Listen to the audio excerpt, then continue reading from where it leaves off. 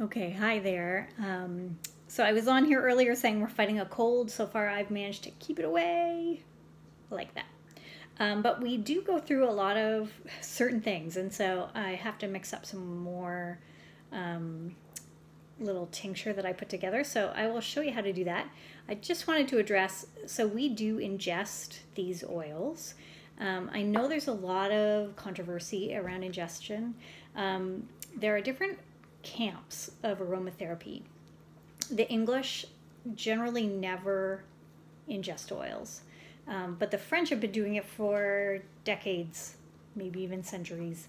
Um, they use them as food flavorings and in beverages, and so um, I've always made it my practice to just use the dietary oils that are approved by Health Canada for ingestion. And so uh, Young Living makes them distinct by putting a white label on them.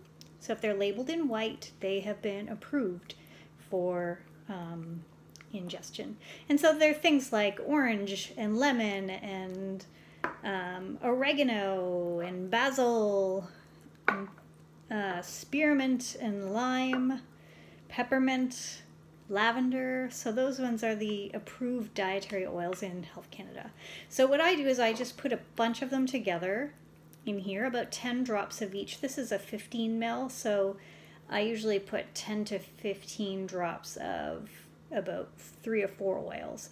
And so I take my pick from the dietary ones, the ones that most appeal to us.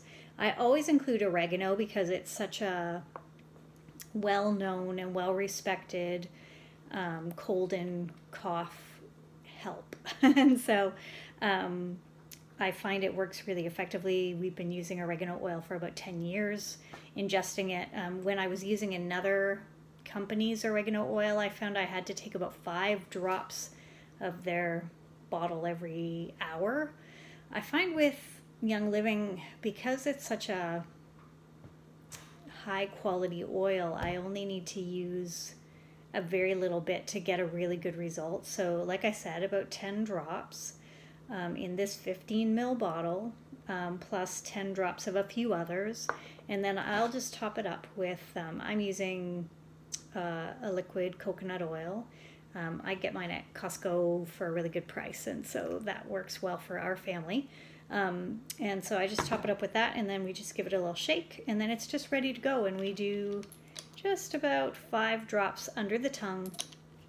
Hold it just momentarily, and then have some water afterwards. But we find by doing this, it just gets the oils into our system really quickly and gets it where it needs to go in order to fight well and effectively. So um, that's one of our little tips and tricks, and I'm going to mix some more up for my family.